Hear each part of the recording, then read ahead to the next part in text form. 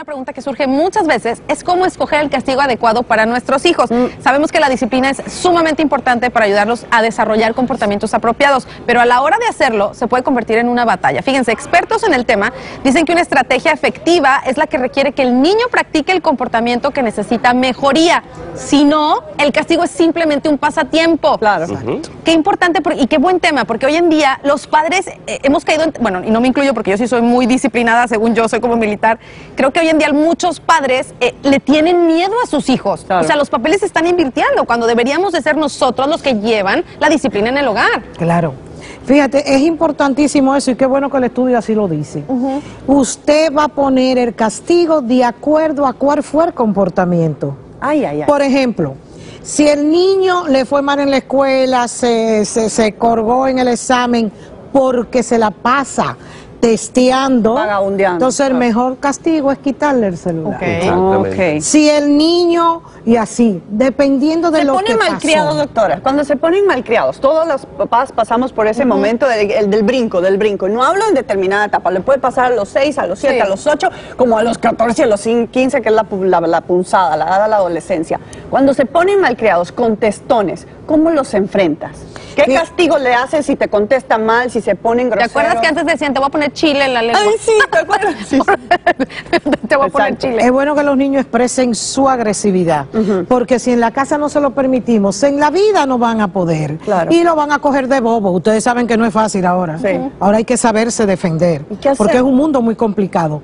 Al menos que el niño te insulte Ajá. y te diga cosas horrorosas, el niño tiene derecho de vez en cuando a estrellar una puerta, a decir, ¡diablo! ¿Está molesto? Y nosotros a Si reaccionar, estamos- no, doctora, porque que no, no me puede tirar una puerta todo el Que la tiempo. Fíjate, lo tire, el problema de la puerta y escoger sus batallas, Vero, hay que escoger las batallas. Ahora, si te insulta a ti de Claro. frente y te dice malas palabras Eso y es una eso, falta de eso es respeto. una falta de respeto. Claro. Y- Pero que él exprese su rabia. Mira, Me acuerdo que mi hija chiquitica, porque si no expresa la rabia, se- claro. se, la traga y después lo machacan en Doctora, la nos calle. pasa a nosotros de adultos. Claro. Que ¿Por qué tenemos no? todo derecho a gritar de vez en cuando. de, ¡ah! Exacto. Y, y a Sí, es importante. Si no hacen caso, Bueno, si no hacen caso, en la que tiene que revisarte eres tú, porque no estás siendo consistente. O Una cosas.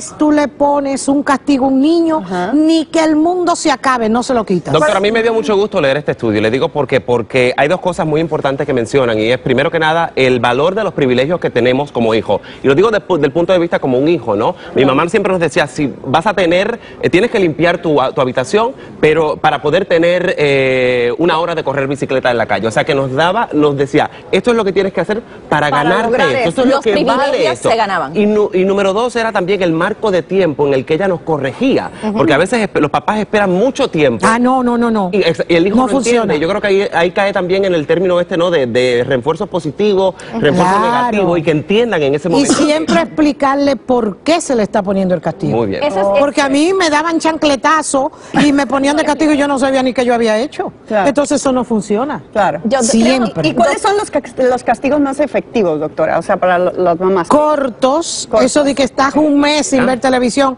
la primera que no lo va a cumplir eres tú porque tú. te hartas. Claro, claro. Cortos en relación con lo que quieres cambiar y explicándole al niño por qué, que el niño no sienta que lo están maltratando, Claro. sino que le están mandando una lesión. Aviso. Sí. Yo creo que de hecho también frases cortas, ser asertivos a la hora de... de- de- mire, les tengo, les tengo un ejemplo. Tengo una amiga que recién se acaba de mudar de Puerto Rico a Nueva York. La niña es- no entiende mucho todavía el español. El- el inglés. Eh, el inglés, perdón. Mordió en estos días a otra niña. Ay. ¿Qué es lo que uno hace en el momento? Uno rápido va como a atacar. ¿Por qué la mordiste? ¿Por qué hiciste esto? Mi, mi amiga fue muy inteligente y en esto la felicito.